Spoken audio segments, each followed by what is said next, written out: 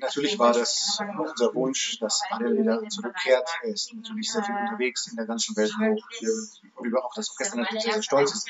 Denn Ariel hat ja mit dem Orchester auch angefangen, seine Karriere zu, äh, zu gestalten. Und äh, das war wirklich unser Wunsch aus dem tiefsten Herzen. Und dann sind wir jetzt selbstverständlich darüber glücklich, dass das auch technisch äh, geklappt hat und funktioniert hat. Und wie, wie wir wissen, vergeht die Zeit ja so schnell und 21 schon bald vor der Tür. Was versprechen Sie beim Orchester programmatisch oder sonst von Ariel Zuckermann insbesondere? Ja, Ariel ist natürlich sehr berühmt dafür, äh, raffinierte Programme zu wählen und äh, auch ist er sehr gut vernetzt und verknüpft mit namhaften Musikern und wir haben uns selbstverständlich auch für die Stadt Ingolstadt und für das Orchester äh, wunderbare Leute zu gewinnen und äh, auch Champagnerkonzerte äh, zu geben und zu spielen.